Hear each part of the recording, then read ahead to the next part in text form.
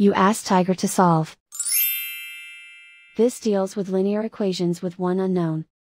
The final result is s equals negative 13. Let's solve it step by step.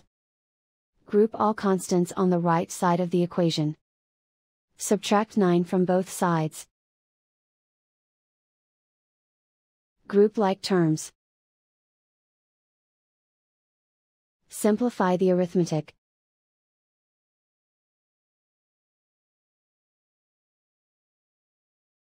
Isolate the s. Divide both sides by negative 2. Cancel out the negatives.